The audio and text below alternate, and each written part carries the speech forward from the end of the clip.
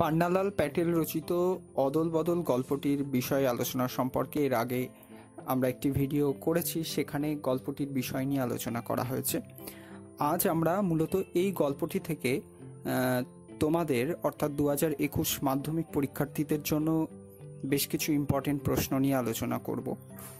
সেই সঙ্গে এই গল্প থেকে বিগত মাধ্যমিক পরীক্ষাগুলিতে কোন কোন প্রশ্নগুলি এসেছে, সেইগুলি নিয়েও আলোচনা করা হবে। এবং সর্বোপরি এ বছরের জন্য কত মানের প্রশ্ন এই পরি এই গল্প থেকে আসতে পারে সেগুলো নিয়ে আমরা আলোচনা করব। প্রত্যেকে প্রথম থেকে শেষ পর্যন্ত মন দিয়ে ভিডিওটি দেখবার চেষ্টা করবে। প্রথমে আলোচনা করব এমসিকিউ নিয়ে, অর্থাৎ সঠিক উত্তর নির্বাচন।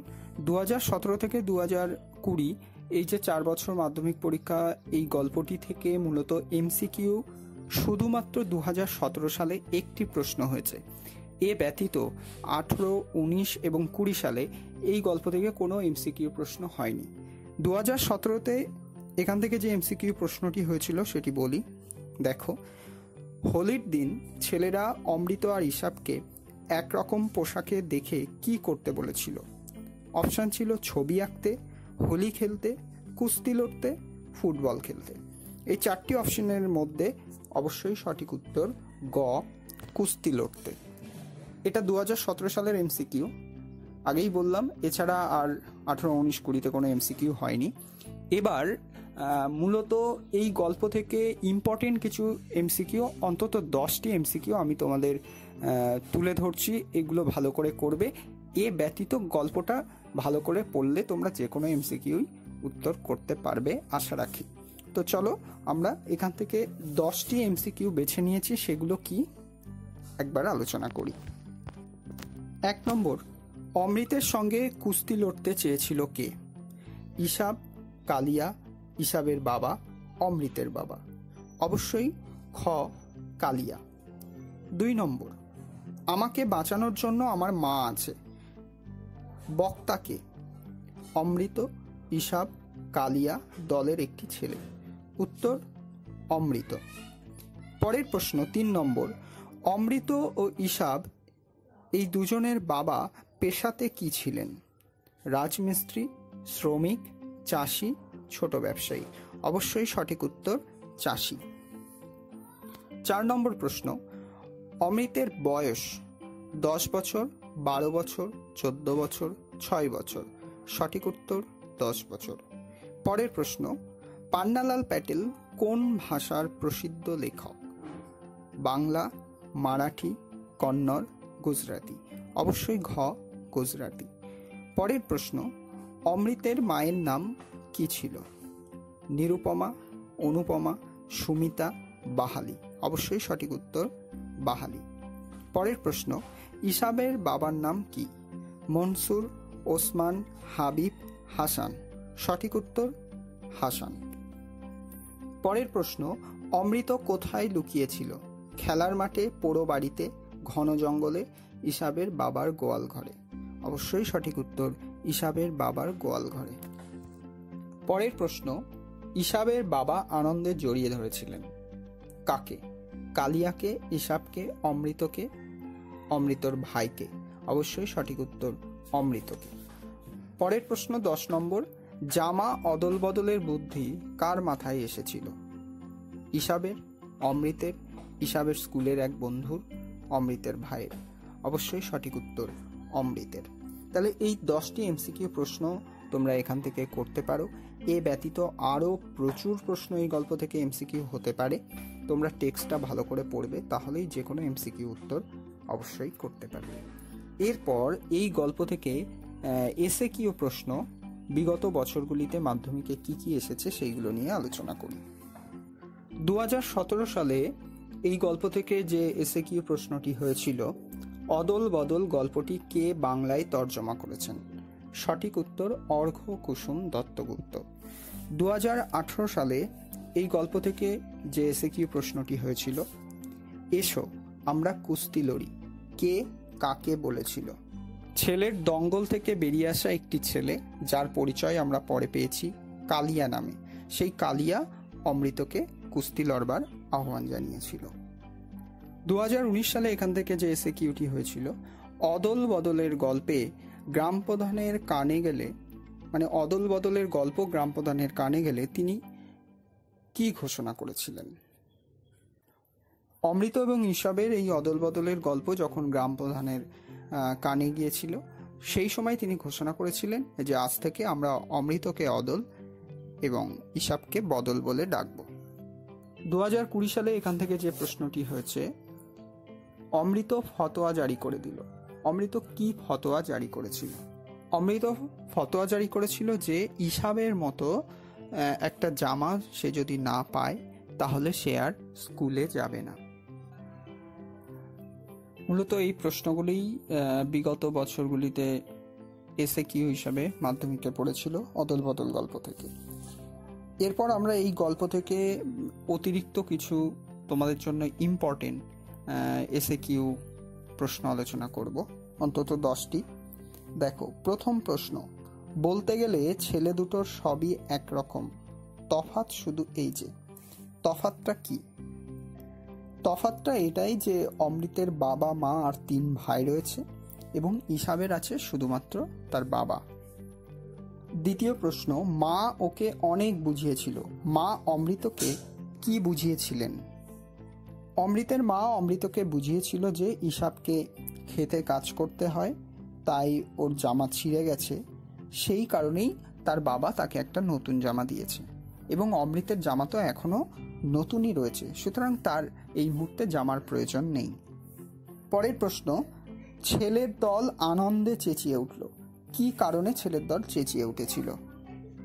কালিয়া যখন অমৃতকে ধুলোর মধ্যে ছুঁড়ে ফেলে দিল, অর্থাৎ যখন অমৃত কালিয়ার কাছে কুস্তিতে হেরে গেল সেই দৃশ্য দেখে ছেলের দল আনন্দে চিৎকার করে উঠেছিল। যে কালিয়া জিতেছে, অমৃত হেরে গেছে, কি মজা কি মজা। পরের প্রশ্ন, অমৃত ও ইসাব হাত ধরাধরি করে গ্রামের ধারে কি দেখতে গিয়েছিল? অমৃত আর ইসাব হোলির সময়কার বাজি আর বুড়ির বাড়ির পোড়ানো দেখতে গিয়েছিল। পরের প্রশ্ন, হঠাৎ অমৃতর মাথায় একটা বুদ্ধি খেলে গেল। বুদ্ধিটি কি ছিল? অমৃত যখন দেখতে পেল যে ইসাবের জামার পকেটের নিচে ছ ইঞ্চি পরিমাণ জায়গা ছিঁড়ে গেছে, তখন সে ইসাবকে তাদের দুজনের বাড়ির মাঝখানে নিয়ে গিয়ে বলল যে তারা জামা অদল বদল করবে। অর্থাৎ অমৃত ইসাবের জামাটি পরবে এবং ইসাব অমৃতের জামাটি পরবে। পরের প্রশ্ন, তাহলে মা আমাকে ঠ্যাঙাবে। মা কেন ঠ্যাঙাবে বলে বক্তা মনে করেছে? অমৃত অনেক জোর জবরদস্তি করে তার মা বাবার কাছ থেকে এই নতুন জামাটি তৈরি করেছে, আদায় করেছে। তাই সেই নতুন জামাটা যদি আজ ছিঁড়ে যায় বা ময়লা হয় তাহলে বাড়িতে গেলে তার মা তাকে ঠ্যাঙাবে পরের প্রশ্ন, আবেগ ভরা গলায় হাসান বললেন, হাসান কি বললেন? ইসাবের বাবা হাসান অমৃতের মা বাহালি বৌদিকে বললেন যে, অমৃতের মতো ছেলে পেলে তিনি একুশ জনকেও পালন করতে রাজি আছেন। পরের প্রশ্ন, অমৃত দৃঢ় স্বরে বলল, অমৃত কি বলেছিল? ছেলের দলের কোনো একজন যখন অমৃত এবং ইসাবকে কুস্তি লড়তে বলে তখন অমৃত দৃঢ় স্বরে বলেছিল যে সে কুস্তি লড়তে চায় না। কারণ কুস্তি লড়তে গিয়ে তার জামা নোংরা হলে বা ছিঁড়ে গেলে তার মা তাকে ঠ্যাঙাবে পরের প্রশ্ন, এতে দুজনেরই ভয় কেটে গেল। ভয় কাটার কারণ কি? অমৃতের মা যখন অমৃতের গায়ে ছেঁড়া জামাটি দেখলেন, তখন তিনি তাকে কিছু না বলে সেই ছেঁড়া জায়গাটি সুঁচ সুতো দিয়ে রিফু করে দিলেন। তার পরিপ্রেক্ষিতেই অমৃত এবং ইসাবের মন থেকে তাদের ভয় দূর হলো যে তাদের বাবা বোধহয় আর কিছু তাদেরকে বলবে না। শেষ প্রশ্ন ও আমাকে শিখিয়েছে খাঁটি জিনিস কাকে বলে। খাঁটি জিনিস বলতে কি বোঝানো হয়েছে? খাঁটি জিনিস বলতে এখানে সন্তানের প্রতি মায়ের স্নেহ, ভালোবাসার কথা বলা হয়েছে, তথা সংসারে মায়ের ভূমিকা কতখানি, তার মূল্য কতখানি, সেটাকেই এখানে মূলত নির্দেশিত করা হয়েছে। এই প্রশ্নগুলি মূলত তোমরা এসে কি হিসাবে করতে পারো। ইম্পর্টেন্ট প্রশ্ন হিসাবে। এ ব্যতীত এই টেক্সট থেকে আরও এরকম অনেক এসে কিউ হতে পারে, সেগুলোও তোমরা করবে এবং টেক্সটটি বারবারই বলছি, তোমরা ভালো করে পড়বে, তাহলে যে কোনো প্রশ্ন এখান থেকে অ্যাটেন্ড করতে পারবে। এবারে বলি, এখান থেকে মূলত তিন নম্বরের প্রশ্ন দু হাজার আঠারো সালে এবং দু হাজার কুড়ি সালে এসেছে। এবং পাঁচ নম্বরের প্রশ্নও তাই দু হাজার আঠেরো এবং দু হাজার কুড়ি সালে এসেছে। দু হাজার সতেরো এবং দু সালে। এখান থেকে কোনো তিন নম্বর বা পাঁচ নম্বরের প্রশ্ন আসেনি। সুতরাং তোমরা বুঝতেই পারছ দু হাজার কুড়িতে এখান থেকে তিন এবং পাঁচ নম্বরের প্রশ্ন পড়ে গেছে। সুতরাং তোমাদের বেলায় মনে হয় না এখান থেকে আর তিন নম্বর এবং পাঁচ নম্বরের প্রশ্ন আসতে পারে। তবুও তোমরা চাইলে এখান থেকে তিন নম্বর বা পাঁচ নম্বরের প্রশ্ন তোমরা তৈরি করতেই পারো। তবে মনে হয় না পুনরায় আবার দু হাজার একুশে এখান থেকে তিন বা পাঁচ দেবে। তথাপি ইচ্ছা হলে অবশ্যই তোমরা এখান থেকে তিন পাঁচ করতে পারো। তবে বলে দিই, এখান থেকে দু হাজার আঠেরো সালে তিন নম্বরের যে এবং পাঁচ নম্বরের যে প্রশ্নটি হয়েছিল দু হাজার আঠেরো সালে এখান থেকে তিন নম্বরের যে প্রশ্নটি পড়েছিল, উনি দশ বছরের অমৃতকে জড়িয়ে ধরলেন। উনি কে? কেন অমৃতকে উনি জড়িয়ে ধরেছিলেন? এখানে উনি বলতে সেই ইসাবের বাবা হাসান মিয়ার কথা বলা হচ্ছে এবং কেন তিনি অমৃতকে জড়িয়ে ধরছেন? সেই অমৃত যখন জানিয়েছিল যে তাকে যদি তার বাবা মারে, তখন তার মা আছে, মা তাকে বাঁচাবে। এই যে খাঁটি কথাটি বলেছিলেন আজ যখন সেই ইসাবের বাবা সকলের সম্মুখে, সমস্ত মায়েদের সম্মুখে সেই ইসাব আর অমৃতের এই গল্পটি বলছিলেন, সেই মুহূর্তে তিনি অমৃতকে জড়িয়ে ধরেছিলেন। যে অমৃতের এই যে বন্ধুত্ব প্রীতি, এই যে মায়ের প্রতি তার ভালোবাসা, সেই বিষয়টিকে জেনে তিনি অমৃতকে জড়িয়ে ধরেছিলেন। এখান থেকে পাঁচ নম্বরের যে প্রশ্নটি হয়েছিল দু হাজার আঠারো সালে দেখো সেই প্রশ্নটিও এখান থেকে বলে দিই তোমাদের জন্য। অমৃত সত্যি তার বাবা মাকে খুব জ্বালিয়েছিল। অমৃত কীভাবে বাবা মাকে জ্বালাতন করেছিল এবং অবশেষে অমৃতের মা কি করেছিলেন? কীভাবে জ্বালাতন করেছিল সেখানে সে হিসাবের নতুন জামা দেখার সঙ্গে সঙ্গে কীভাবে ফতোয়া জারি করেছিল কীভাবে স্কুল যাওয়া বন্ধ করেছিল, খাবার খাওয়া বন্ধ করেছিল, কীভাবে ইসাবদের গোয়ালে গিয়ে লুকিয়েছিল ইত্যাদি ইত্যাদি, সেই বিষয়গুলো বলতে হবে। এবং অমৃতের মা শেষ পর্যন্ত কীভাবে বাধ্য হয়েছিলেন তাকে জামা দিতে সেই কথা এখানে বলতে হবে। এরপর দু হাজার কুড়িতে এখান থেকে তিন নম্বরের যে প্রশ্নটি হয়েছিল ছেলে দুটোর সবই একরকম। তফাত শুধু এই যে, ছেলে দুটি কে কে? অবশ্যই ঈশাব আর অমৃত। তাদের মধ্যে তফাত কোথায়?